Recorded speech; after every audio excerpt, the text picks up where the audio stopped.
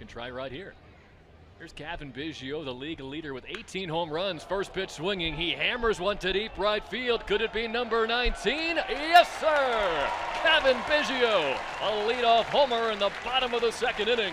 And the Fisher Cats strike first. It's 1 0 New Hampshire.